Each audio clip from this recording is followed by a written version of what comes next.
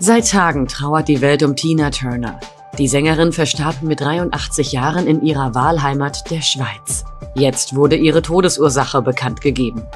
Wie ein Sprecher gegenüber Daily Mail bestätigt, ist Tina Turner eines natürlichen Todes gestorben. Näher wird in dem Statement nicht darauf eingegangen, bisher war lediglich bekannt, dass sie vor ihrem Tod an einer längeren Krankheit litt. In den letzten Jahren machte Tina Turner viele Gesundheitsprobleme öffentlich. So erlitt sie einen Schlaganfall, erkrankte an Krebs und hatte mit Bluthochdruck zu kämpfen. Das führte schließlich dazu, dass sie eine neue Niere benötigte, die ihr ihr Ehemann Erwin Bach spendete. Außerdem hatte sie mental mit den Nachwirkungen ihrer von Gewalt geprägten Beziehung mit Ike Turner zu kämpfen und musste den Tod zweier ihrer Söhne verarbeiten.